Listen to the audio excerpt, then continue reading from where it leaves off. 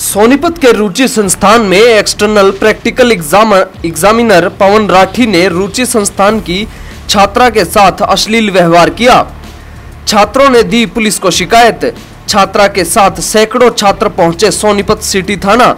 कथित रूप से पवन राठी ने छात्रा से अच्छे नंबर देने की एवज में व्यक्तिगत रूप से शाम को संस्थान के बाहर कंडोम के साथ मिलने की बात कही थी। महिला आयोग की सदस्य सोनिया अग्रवाल ने बताया कि आरोपी शिक्षक के खिलाफ सख्त से सख्त कार्रवाई की जाएगी। थाने के जस्ट पहले ही सिटी थाना पड़ता है तो वहाँ मैं मैंने देखा कि दो तीन बच्चे हैं और वो अपनी आइडेंटिटी छुपा के जो है अपने बारे में कुछ बता रही थी। तो मैं वहाँ रुकी तो मुझे पता लगा कि रुचि कॉलेज की छात्रा हैं ये।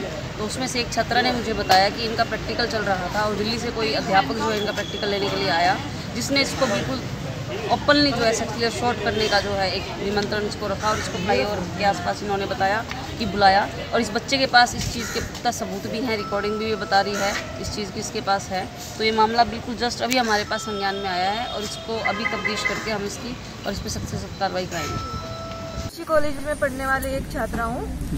तो कल मेरा वाइवा था फाइनल प्रैक्टिकल उसके दौरान जब वो एक्सटर्नल जो आया हुआ था उसने मेरे साथ बहुत मिसबिहेव किया। बोला कि तेरी फाइलें कंप्लीट नहीं है और फाइनल कंप्लीट ना होने के बाद मैं तेरे को फेल कर दूँगा। अगर तेरे को पास होना है तो तू मेरे पास कॉल करियो और मेरे से होटल पे मिलने के लिए आई हो। और उसने मेरे को कॉन्डम के साथ बुलाया कि ये सब चीज़ें लेके आओ। और मैं इस कंप्लेंट को लेकर कानूनी कार्रवाई चाहती हूँ। सुनिए आपने छात्रा की आप बीती। आप खुद ही अंदाज़ा लगा सकते हैं कि शिक्षा का क्या सतर हो चुका है और कितनी सरकारें सख्त हैं। बेटी बचाओ, बेटी पढ़ाओ का नारा दिया ज़रूर जाता है। लेकिन हम सुना आपने इस छात्रा की जुबानी जिसमें साफ़ तौर पर कहा जा रहा है कि अच्छे नंबर चाहिए तो कॉन्डम के साथ मिलना बाहर। ऐसे में इस छात्रा ने अपना साहस नहीं खोया और कर दिया ऐसे शिक्षक का पर्दाफाश। गनीमत रही महिला आयोग की सदस्य सोनिया अग्रवाल भी वहाँ पर मौजूद थी।